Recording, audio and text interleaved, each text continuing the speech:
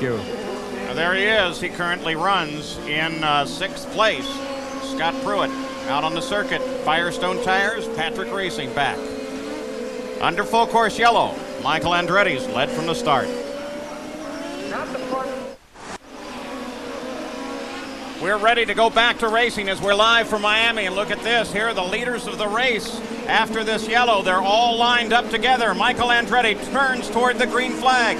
Jim Swintal gives it a wave, and we're back racing. Andretti followed by Gugelmin, followed by Villeneuve. First and second are exactly as they started. Michael Andretti was on the inside of the front row, Gugelmin on the outside, but uh, Villeneuve has come way up uh, the grid and is having a fine performance. Then Sullivan, then Pruett, there they are. Bobby Rahal and Robby Gordon closing in as well. You know, it's interesting to think last year, Michael Andretti and Gugelmin on the same team last year, not the same team this year, running first now, or run first and second. Gugelmin last year, ironically, was ahead of Michael most of the times in the races. Yeah, they were bitter rivals actually last year, weren't they, Bobby, even though they drove for the same team. However, at the end of the year, it was Michael Andretti who had two wins and Gugelmin did not. Michael has really looked good today, Sam. He's, he's been in the right place at the right times not abusing his car. He did rub the wall one time. That was just trying to pass, though. In eighth place, just behind Robby Gordon. Oh, look at Rahal. Boy, he almost lost it there. Just behind Robby Gordon is Jimmy Vasser, who's now in the top 10. Then Stefan Johansson and Christian Fittipaldi rounds out the top 10. That shows you the track is getting just a little bit slippery. Remember, the more rubber you put on the track, the more slippery it gets. There's, that, nothing, there's no heat problems here. Is that just a little bit or is it a little bit? Well, a little bit. I mean, it's quite a bit right now. Well, Bobby, your point at the beginning of the show about how parts of the track are cement, parts of it are pavement, is very tricky for the drivers to go from one part to another. And when the sun starts to get a little low in the sky, visibility problems happen too. Christian, Fittipaldi, a terrific pass down on the inside.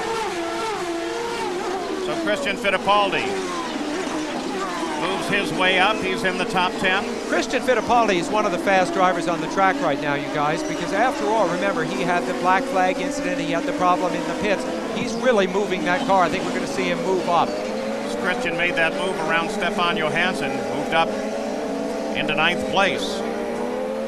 He's got Vasser right ahead of him now. That would be eighth place. And then Robby Gordon just in that blue car. There's Gordon just disappearing at the bottom of the screen. So it'll be interesting. I think Fittipaldi is going to pick off two fairly big names, two American drivers here in the next couple of laps. He's charging at the back end of Jimmy Vasser, who has had a great weekend here. New team for Jimmy, driving for Chip Ganassi. Robby, Robby Gordon worrying him to death. You see Robby Gordon there going by first of that group. He's going to be on the Home Improvement Show with Tim Allen, March 28th. You might want to watch for that.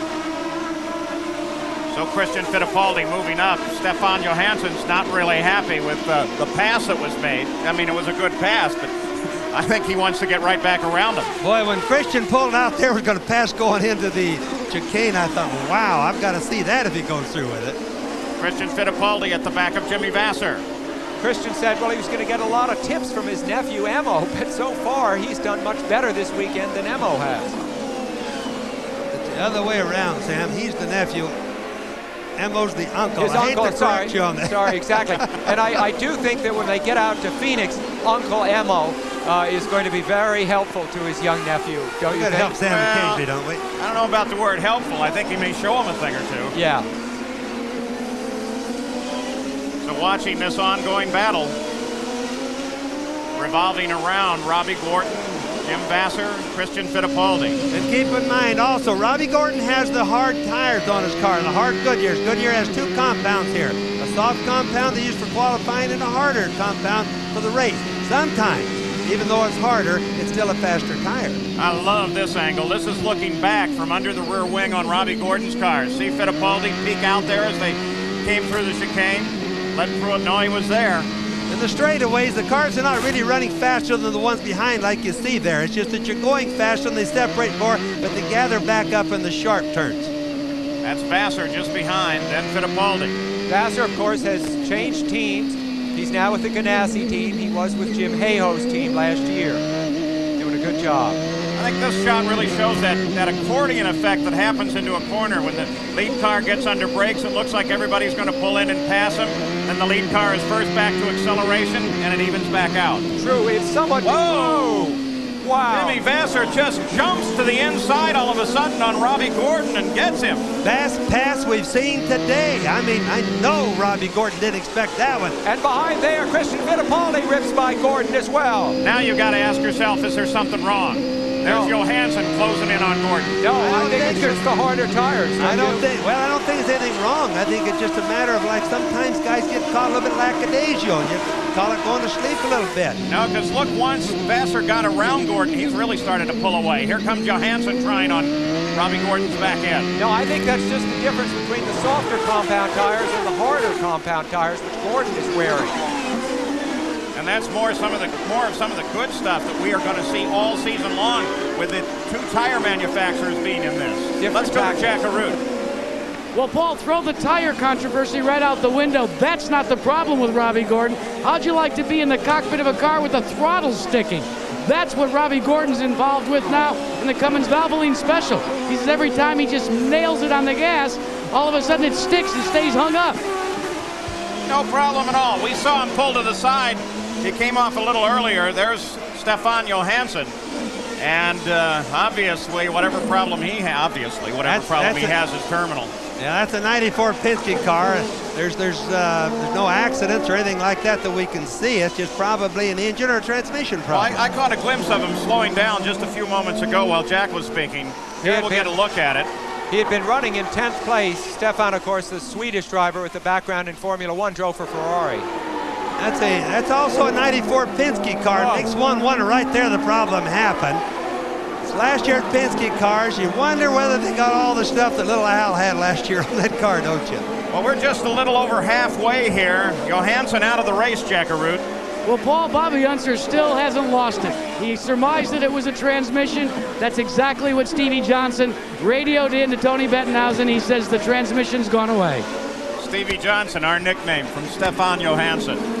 There are other nicknames. We won't use them here, right, Bobby? One good race driver too. I really respect and admire that guy. He's really taken under the American scene too.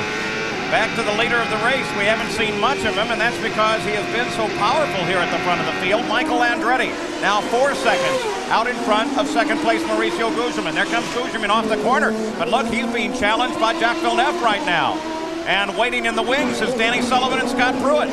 Villeneuve, remember, in the blue and white car, was a rookie last year, but he won at Elkhart Lake. He had a brilliant pass there near the end of the race that secured that win for him.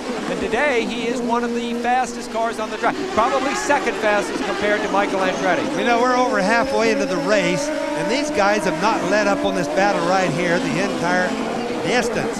So the price of racing is going to get pretty rough as we get near the end here. So there's Mauricio Gugelmin. Jack's just behind him. We could be due for stops any time now. Michael Andretti has gone 23 laps since his last pit stop, and several of the crews have started to lay out the equipment for the second and what should be the final pit stop of the day. And Michael peels off and heads into the pits. He's in the very first pit, Jack Arute. And Paul, all he was yelling on the radio as he came in is right front, right front. They seem to think that maybe he had a right front go down, so they elected not to push the window any further than they had to. You're right, this should be the final stop for your leader. But boy, talk about living under. Oh, now he's he's killed the engine. The engine is dead, Paul. Oh, they've got a broken control arm on the front of the car. On the right front of the car, there's a broken control arm. Saw him reach down and pick it up. That's the side of the car, of course, that hit the wall the wall. earlier, so it makes you wonder if perhaps this wasn't something destined to happen. Of course, it's so easy to touch a concrete wall around here. This is really, really sad. Michael, at least from our vantage point, has done such a good job today and really controlled this race entirely. Yeah, I'll there's the ya. arm that's broken. That's it. The day is done for Michael. They may get him back in the race, but not in the lead. Mauricio Gugelmin's now the leader. This is very bad luck for Michael, but on the other hand, it's very good luck that this didn't break in a way that put him in the wall out there on the track. Yeah, sure, Exactly. absolutely right there, Sam. That's So for the first time in his IndyCar career, Mauricio Gugelmin is the leader of the race. And there he is. Second place now is Villeneuve. Third is Sullivan. Pruett is fourth. Bobby Rahal is fifth. And the Pac West team is now one and three, a new team. So now with 25 or 50 laps complete. We are moving up with a brand new leader in IndyCar racing in the person of Mauricio Gugelmin. And we talked about new faces. They are very definitely at the front of the field right now.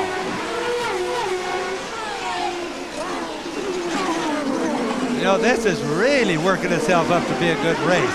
There's Gugelmin right there, Villeneuve right behind him, and a whole bunch right behind them. Certainly the international flavor is being borne out. Belgium in the Pac West team.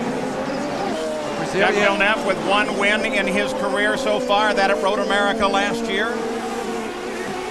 With a promise of many more to come. We're not going to sell Danny Sullivan shy. You know, he's in third place. Danny is racing. He's really become a racy race driver right now. So this is what put Michael Andretti on the restart up against the wall and broke the suspension member. We'll be back.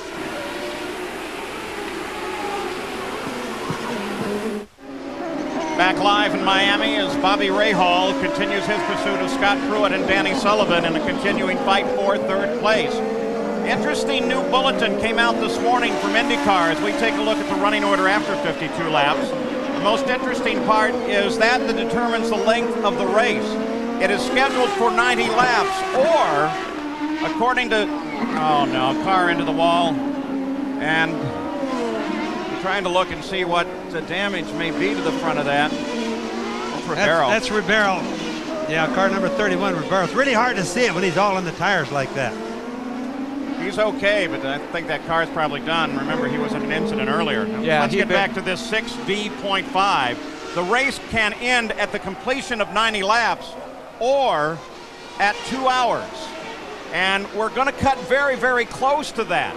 Very close to that. So Jack Arute and Gary Gerould, starting with Jack, does that does that affect strategy now? Well, Paul, taking a look at my end of the pits down with Robby Gordon and Raul Boesel and Christian Fittipaldi, and, mo- and most importantly, the Rahal Hogan team of Bobby Rahal, they all say that they have adjusted their strategy, and this full course yellow that we have just gone onto plays right into their hands. Most teams are going to elect to come in now for what should be their final stop, assuming that this race will go two hours instead of the advertised distance. Now, if all of a sudden the race speed picks up, these drivers could have to make a third stop. Let's go down further in the pits to Gary Gerould. And waiting anxiously for his drivers who are first and third, Bruce McCaw. Now, Bruce, we're talking about the possibility of this becoming a timed race. Is that entering into your strategy now? Well, that's not our strategy yet. We're just running to stay out in front. You've got right now running first and third. You've got Mauricio in here in the pits getting serviced right now. You've got to be terribly proud and excited about what this this uh, team is doing. He's watching them closely. You've got to be terribly proud and excited about what's going on. Our team, the Pac West team, has done a fantastic job all winter getting ready for this race. We've we've had a year now to get organized, and we're just